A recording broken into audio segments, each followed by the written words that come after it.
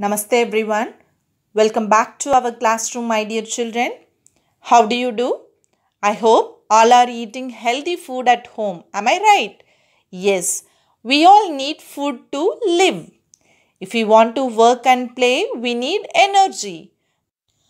From where we will get energy? From the food what we eat.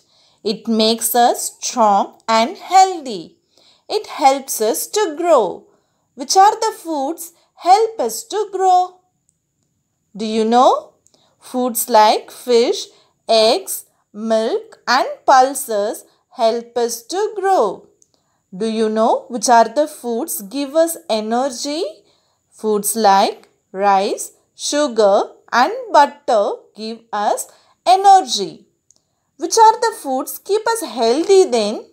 Fruits and vegetables keep us healthy. To be healthy, strong and full of energy, eat all kinds of food. How many meals we eat in a day? Most of us eat three meals in a day. We have our breakfast in the morning. We have our lunch in the afternoon. And we have our dinner at night. Let's see good food habits. Wash your hands before and after every meal. Eat slowly and chew well. Do not eat uncovered food. Do not talk while eating. Do not waste food. Yeah, now it's reading time. Let's read our textbook. Food. Good morning, children. Today we'll read about things we eat. These things are called food. Food. We all need food to live. Food gives us energy to work and play. It makes us strong and healthy. It helps us to grow.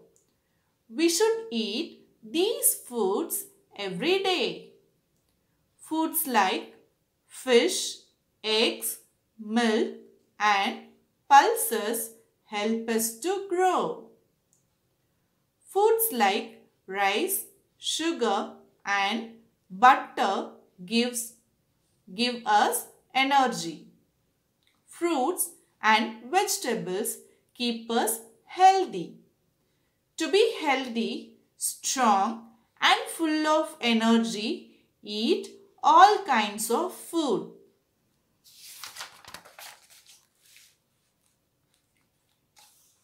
Eating time. We eat three meals in a day. We have our breakfast in the morning. We have our lunch in the afternoon. We have our dinner at night. Good food habits. Wash your hands before and after every meal. Eat slowly and chew well. Do not eat uncovered food. Do not talk while eating. Do not waste food. Alright children, eat healthy and stay healthy. I'll meet you in the next class. Till then it's bye from Udaya.